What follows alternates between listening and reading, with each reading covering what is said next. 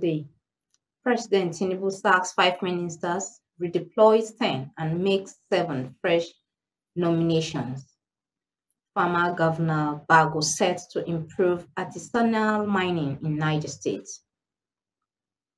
Niger State House of Assembly urged executive arm of government to urgently recruit qualified medical doctors in Kontagora General Hospital. Welcome to Lina TV News Today. I am Anna Asibi Moses.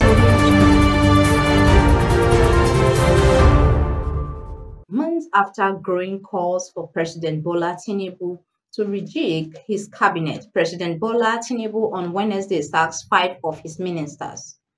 He also reassigned 10 ministers to new ministerial portfolios and appointed seven new ministers for Senate confirmation. Over time, there have been growing calls for the president to reshuffle his cabinet, as many Nigerians are not impressed by the performance of some of the ministers, especially in the face of unprecedented inflation, excruciating economic situation, and rising insecurity. On Wednesday, during the Federal Executive Council, the president sacked Uju Ken Ohanenye as Minister of Women Affairs, Lola Ade-John as Minister of Tourism, Tahir Mamman as Minister of Education, Abdullahi Gwarzo as Minister of State, Housing and Urban Development, and Jamila Ibrahim as Minister of Youth Development. Tinubu subsequently nominated Bianca Odumegwu Ojukwu as the Minister of State Foreign Affairs while Nentawe Yilwatda as the Minister of Humanitarian Affairs and Poverty Reduction, official bringing an end to the tenure of suspended Betta Edu.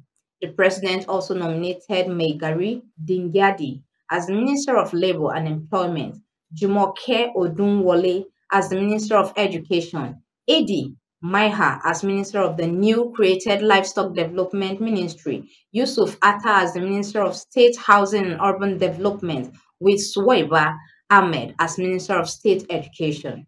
Niger State Governor Fama Muhammad Umar Bago has met with stakeholders in the mining sector during one of his schedules in Brazil with a view to facilitating and encouraging partnership that will improve the mining sector in the state. The former governor disclosed that his administration intends to organize the miners into cooperatives, explaining that responsible mining entails ethical practices, environmental stewardship, community engagement, and a balance in productivity with a commitment to sustainability and social responsibility. Former Governor Umar Bagori affirmed that the initiative and other strategies evolved are designed not only to improve the working conditions of artisanal miners, but also to promote the collective marketing of their products, saying the establishment of cooperatives will create room for the government to create a structured framework for mining that enables artisans to sell their products more efficiently and sustainably while simultaneously mitigating the risk associated with their work. The former governor added that the project is equally anticipated to uplift the livelihood of the miners and promote safer mining practices throughout Niger State, as they will also be provided with standardized equipment that adheres to safety and operational guidelines, thereby promoting economic growth while also prioritizing environmental protection and sustainability. All these efforts are part of ongoing efforts of former Governor Umar Bago to transition artisan miners in Niger State and safeguard them from the risk of mine collapses and exposure to hazardous substances like lead poisoning. Niger State House of Assembly has urged the executives to, as a matter of urgency, recruit qualified doctors to be deployed to Kontagora General Hospital or in the alternative, retired doctors be engaged on contract basis to provide medical services. This was the resolution reached when a matter of urgent public importance urging the executive arm of Niger State government to, as a matter of urgency, provide doctors in Kontagora General Hospital to arrest the untimely death of innocent people sponsored by Honorable Sani Umar, member representing Kontagora 1 constituency at the plenary of the House.